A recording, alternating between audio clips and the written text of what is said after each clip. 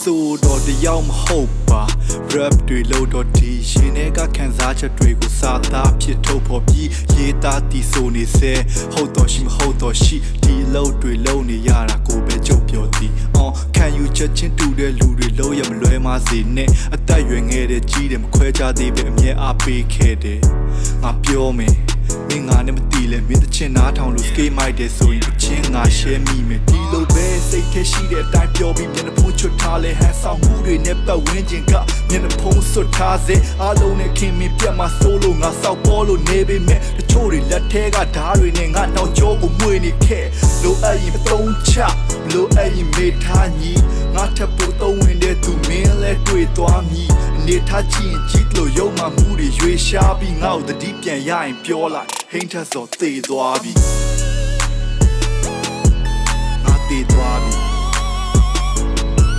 ငါသေသွားပြီငါသေသွားပြီ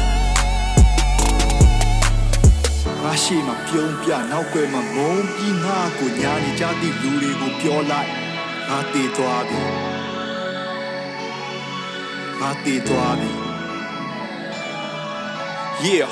why you hate me မင်းနဲ့ငါတွေ့ခုံမှုပိုင်းမတူပြင်ကတကယ်ဖြစ်ပြက်တွေကိုငါ run you chase ပြီးငါတီးတဲ့ hip hop style ကတော့ဒီလိုပဲ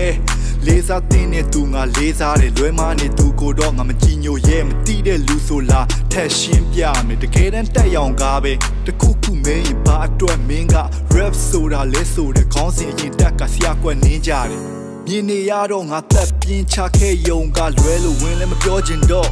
ချင်းတဲ့ဒါတွေကလည်းစင်ကဲစင်ကဲပေါ်ချင်တော့ချင်းပဲအော်အထင်းနဲ့အမြင်နဲ့ for ရင်တော့အတော်ဆုံးလူဖြစ်ပြီးမင်းကလေးတွေဝိုင်းဝိုင်းလဲနေတဲ့ဆိုတော့တဲ့အော် bitch please ဟာလေပူတူစင်မှာသို့တော့ဒီလိုနေထားတော့ငါမမတ်ပါဘူးလို့ယူဖို့လည်းမခက်ပါဘူးငါတို့တော့ရှက်စရာတစ်ခုလိုပဲတွေးတယ်အမြဲတမ်းကိုကုံကိုပေါ်တဲ့ဆရာတွေများသိဒီလောကထဲမှာမရှိတော့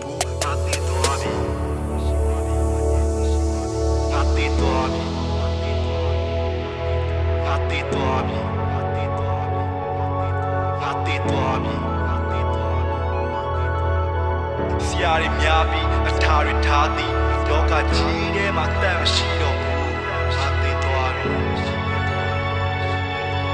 ငါသိသွားပြီ